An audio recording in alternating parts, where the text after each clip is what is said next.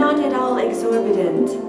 The opportunities for fishing are not surpassed in the country because in other localities, certain places in the stream are much better than others.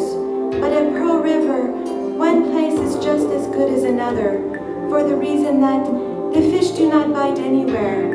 And so there is no use in your walking five miles to fish when you can depend on being just as unsuccessful nearer home.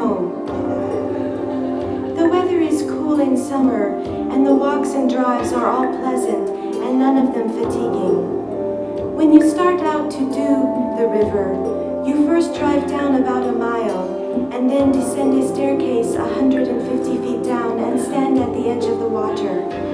After you have done it, you will wonder why you did it, but you will then be too late.